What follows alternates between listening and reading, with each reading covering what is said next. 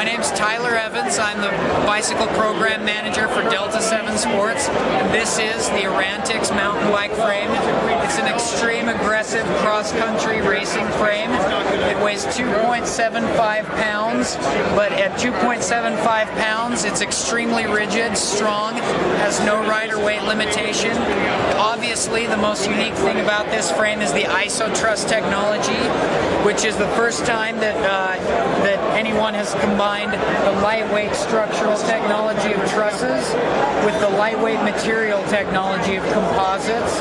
And what you get is a structure that's lighter, stiffer, stronger, and even more impact resistant.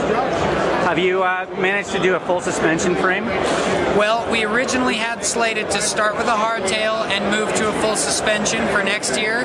However, when we first unveiled this to the industry in October, we had so much demand for road bikes that we've instantly had to push the full suspension out and develop the road bike for next year.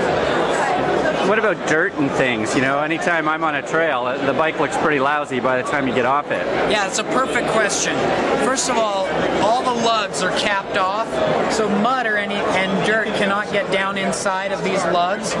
And and we've we've had a lot of questions about that, so we've been running some tests where we ride this bike to side by side with a standard bike, and uh, this it collects no more mud or dirt than any other uh, a standard traditional bike. Uh, typically, anything that would cake to a traditional bike will will not cake to this. Um, and it, and also because it's carbon fiber, it's completely inert. It won't rust or anything. So you can just hose this out with your garden hose when you're done riding. Did you? The frame is two points. 75, 2.75 pounds for the frame. So with your setup, with uh, what's that? A five inch, five inch travel on the front? It's got a uh, four inch travel on the front and this kind of appropriate cross country high end racing package. So for instance, I have a rod in bike at about 20 to 21 pounds. 21 pounds. And have you gone to market?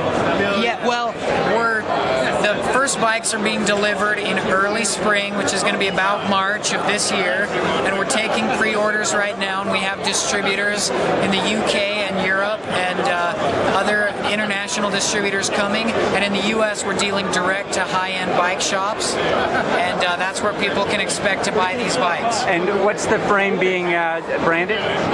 Is, The- it, is it Delta 7? Yeah, the, the company is Delta 7 Sports, the bicycle is the Arantix. The Arantix.